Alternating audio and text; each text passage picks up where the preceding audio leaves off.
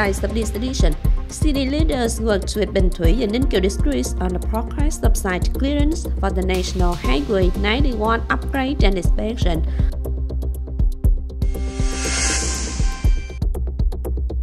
The meeting on the progress of proposed in the Mekong Delta Climate Change Resilience and Integrated Transformation Project using loans from the World Bank.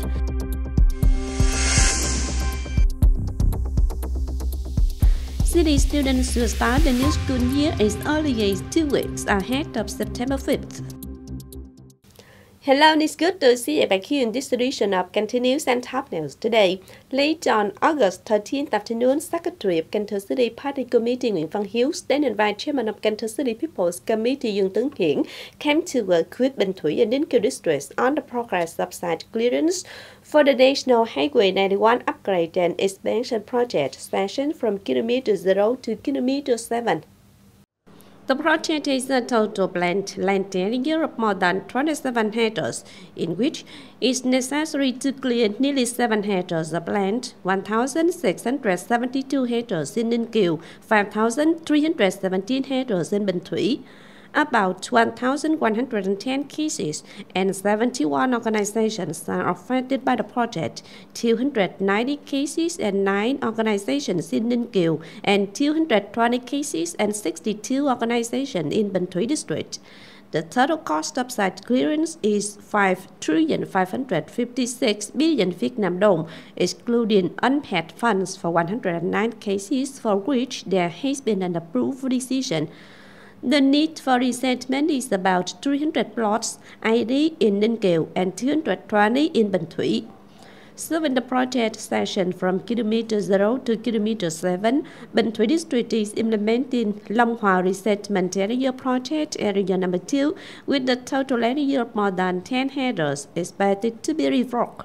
The district determines that in December 2024, there will be enough ground area to start the resettlement project. Secretary Nguyễn Văn Hiếu requested that by mid-2025, the payment of compensation for the approved cases of the National Highway 91 upgrade and inspection progress section from kilometer 0 to kilometer 7 must be completed.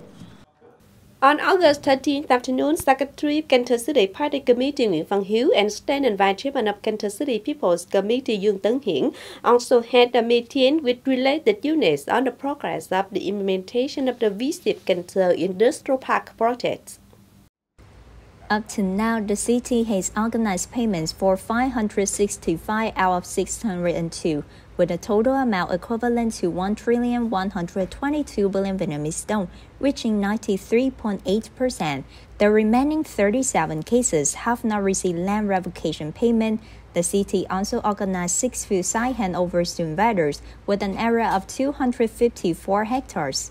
Regarding the project of the road connecting from National Highway 80 to the industrial park, the contractor is constructing the steel and concrete switches across the road and sand on the roadbed. Progress reached 57% of the contract.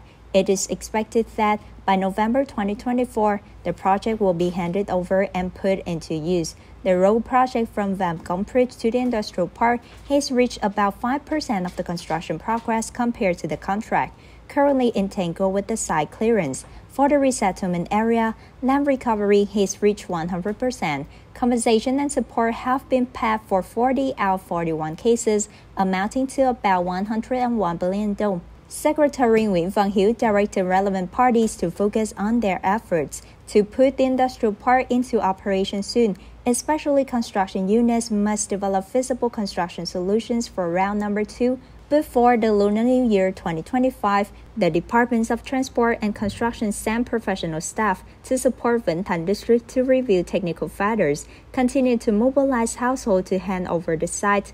Regarding the support for resettlement arrangement, it is necessary to continue to persuade households to agree with the city to promote the complete construction of VSIP Cần Industrial Park. Deputy Minister of Agriculture and Rural Development Nguyễn Hoàng Hiệp on August 13th had a meeting with ministry, central agencies and 10 Mekong branches on the progress of proposing the Mekong Delta Climate Change Resilience and Integrated Transformation Project using loans from the World Bank. representatives of the Central Management Board for Irrigation Projects CPO said that the project using World Bank loans is implemented in 10 provinces in the Mekong Delta, including Đồng Tháp, Tiền Giang, Bến Tre, Kiên Giang, Bạc Liêu, Hậu Giang, Sóc Trăng, Trà Vinh, Cà Mau, and An Giang. The total investment capital of the project is 17,759 billion Vietnamese dong, including loans of 13,092 billion dong, reciprocal capital of 4,288 billion dong, and aid capital of 379 billion dong. Among them, the share of the Ministry of Agriculture and Rural Development is 6,579 billion dong, and 10 provinces in the Mekong Delta is 11,180 billion dong. The project will focus on implementing construction and non construction solutions to solve problems, improve and develop key commodity chains, and increase income for people, while transforming the development model from scattered and small to centralized developing cluster of agricultural economic centers associated with urbanizations, industrialization, and tourism areas. On August 14th, the Command of Military Zone 9 organized the Emulation Congress of the Armed Forces of the Military Zone in the period of 2019-2024. In this period, emulation movement in the armed forces of Military Zone 9 was implemented comprehensively and synchronously. Many tasks were well and excellently completed, leaving many outstanding marks in the fields of work by the help in many typical emulation models such as military people's friendship market, stand and militia participates in protecting the sovereignty of the sea and islands. The armed forces of military zone and the whole country work together, unanimously fight against the COVID-19 pandemic, especially the model of that the people and soldiers has been replicated in 12 out of 12 provinces and cities with a total mobilization budget of 2 trillion 198 billion Vietnam dong. With the achievements recorded in the past five years, the armed forces of Military Zone 9 have had 14,000 collectives and individuals commended and rewarded by the state, the government, and the Ministry of National Defense. On August 14th morning, the Steering Committee of the 4th Congress of Ethnic Minorities of Can City in 2024 held a meeting to prepare for the Congress. The Congress is scheduled to take place on August 28, 2024 at the Hall of Cần Thơ City Party Committee with the attendance of 237 official delegates. Its reported preparations for the Congress have been basically completed on schedule and the meeting delegates agreed on the content of the preparation. The program script delegates also proposed to classify the group of guest lists accordingly, continue to complete the presentations, arrange musical performances. Delivering guidance at the meeting, Vice Chairman of Cần Thơ City People's Committee Nguyễn Thực Hiện, also head of the Steering Committee, proposed that the student community continued to study propaganda slogans, program scripts, cultural programs designed appropriately, focusing on environmental landscape developing plans to ensure security and order during the Congress. The health Center paid attention to health issues of delegates attending the Congress. The inspection team of the Department of Industry and Trade of Cần Thơ City he just had a working session with Đỏ District on the state management of industry and trade in the first six months of 2024. In the first half of the year, Đỏ District well performed the state management in the field of industry and trade, the whole district currently has over 620 industrial and handicrafts production establishments. The value of industrial production in the first seven months of the year was estimated at over 2,670 billion Vietnamese dong, reaching more than 62% of the plan. Markets are arranged to buy and sell stably. The total retail sales of goods and services are over 3,140 billion dong, reaching 68% of the plan.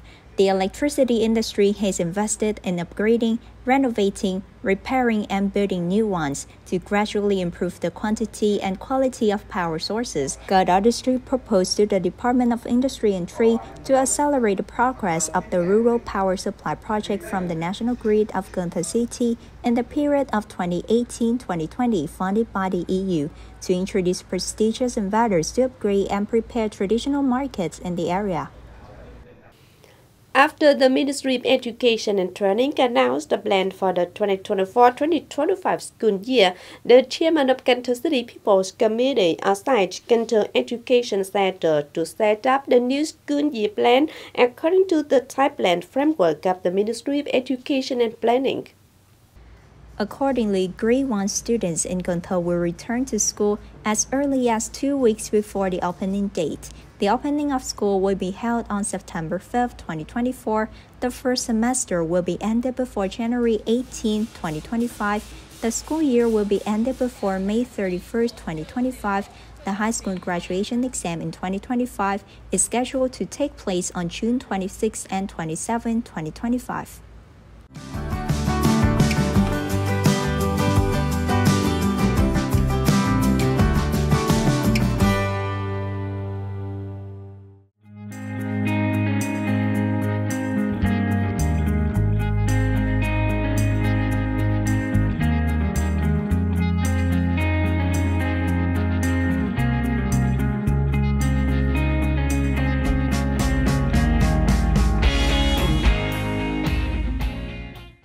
The updated weather forecast also wrapped up this edition of Cần Thơ News. If you want to watch again in this bulletin, please visit our website canthotv.vn. And thanks for being with us. Goodbye and see you next time.